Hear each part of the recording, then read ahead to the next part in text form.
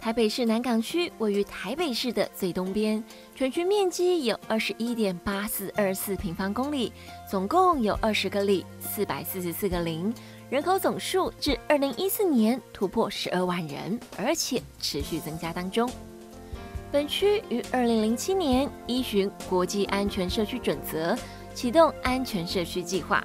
陆续推展安全促进方案。并且于二零一零年结合公司部门，成立台北市南港社区安全与健康促进会。同年通过国际安全社区认证，成为全球第两百一十九个会员。比较近十年，台北市与南港区事故伤害每十万人口死亡率，南港区一直都高于台北市。自从推动安全社区，南港区数值已逐年下降。更于二零一一年低于台北市之平均值，而且持续保持至今。另外，事故伤害死亡率也自二零零六年位居十大死因第五名，退至二零一三年的第十名。再再显示南港安全社区近五年来的推动成果。因此，本区将于二零一五年申请国际安全社区再认证，以期永续经营南港社区安全。台北市南港社区安全与健康促进会是一个结合公司部门的组织，由理事长带领，依照职责范畴规划伤害监测、居家安全、交通安全、校园安全、休闲运动安全、蓄意性伤害防治、卖场、职场安全等七项业务内容。并依伤害监测小组提供之事故伤害监测统计资料，拟定并推动南港区居民最需要之安全方案。根据统计，二零零九年到二零一三年，南港区非蓄意性跌倒坠落事故发生地点以居家场所居多，幼儿及长者则是事故高危险群。为落实居家安全，居家安全小组积极推动居家安全环境检核及居家危险环境改善方案计划，以改善居家环境的安全维护。而在防灾宣导的部分，则是交由台北市义勇消防总队妇女防火宣导大队，以布袋戏的方式演出，用诙谐有趣的方式导入居家安全议题。让参与的民众能够在轻松亲近的方式之下，加强居家安全及防灾知识。分析二零零九年到二零一三年南港区非蓄意性伤害类别，以道路运输撞夹压砸及跌倒坠落事故为最多，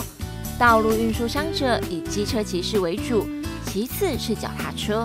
为了保障行人与机车骑士行的安全。南港社区安全与健康促进会加强办理骑乘机车安全宣导，另一配合南港分局移除人行道路障碍计划，进行不安全点移除，以维护民众行的安全。为加强酒驾防治宣导，本小组与居家安全小组合制行动剧，并且在南港社区大学演出，将生硬的交通法条柔和进幽默风趣的对白当中。并且透过与民众互动抢答，加强交通安全相关知识。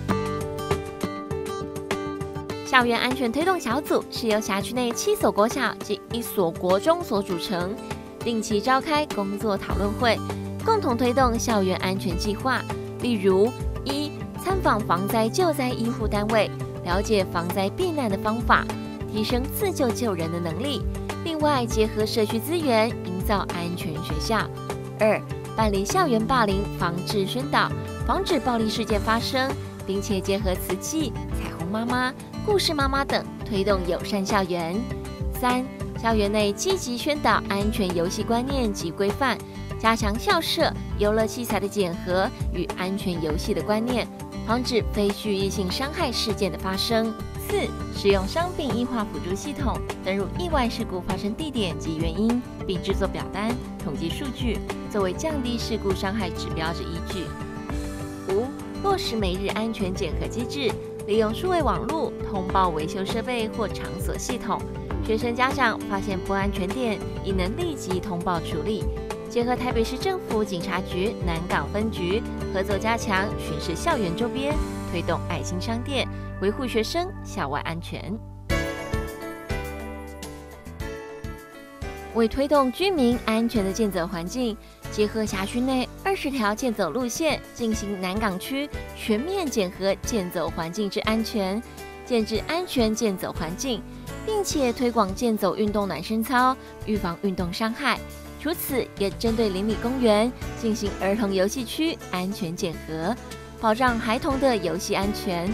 近年来，台北市政府推动骑乘 U Bike 简单移动，增进民众健康计划。南港社区安全与健康促进会对此加强健走志工，协助进行 U Bike 骑乘路线安全检核。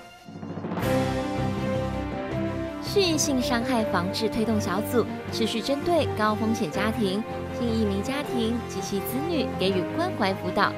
一百零二年南港区少年暴力犯罪人口率明显高于台北市。有鉴于此，本小组积极辅导中辍生及边缘少年进入另类学校，办理中辍辅导实务工作困境与未来发展座谈会，办理青少年就业培训班及每周一次、每次两支的外展队，进行街角少年关怀行为，希望借此降低蓄意性伤害的发生。为推动安全的购物环境及安全的职场计划，进行卖场不安全点改善，建立卖场安全警示标语，维护市市动线的流畅。及南港展览馆环境安全维护，并为增进职场紧急救护的能力，推广办理 CPR 及 AED 的训练。南港区是近五年来台北市十二行政区出生率之冠，为符合本辖区人口特性需求。南港安全社区承诺，在未来三至五年，将居家安全环境检核从新住民及弱势家庭子女扩大至一般户家庭零至六岁子女，并期望营造南港区成为安全的生活环境，永续经营南港安全社区。有南港安全社区真好，赞！